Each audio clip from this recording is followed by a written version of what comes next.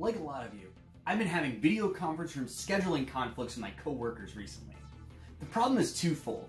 One is that my video conference room is pretty boring. It's just beige sheetrock. And secondly, since I'm sharing the space with my coworker, I rarely have time to get on my CAD workstation computer. I wanted to share with you about how I was able to spruce up the conference room using only the couch, my old Chromebook, and the 3D Experience platform. I don't have room for a bookshelf, I'm not really any good at art, but one thing I do have a lot of is vinyl records. I thought it'd be pretty cool to hang a bunch of my favorites up on the wall. But being stuck in quarantine, I only really have what I have in my house. So I started rummaging around in the cabinets, the garage, that one drawer we all have, and I was ready to give up when I found these little picture hangers. I've always been amazed at how much weight they could hold up by just a little nail inside the sheetrock. Of course, I only had three of them, and I'm trying to hang 20 records. So, that led me to designing and printing my own custom hangers from the couch.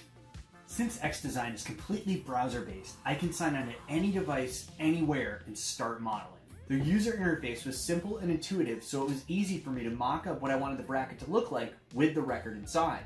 Since everything was parametric, I could play around with the dimensions until I got the shape that I was looking for. And I could even create a custom hole size to fit the only small nails that I could find. All done, right?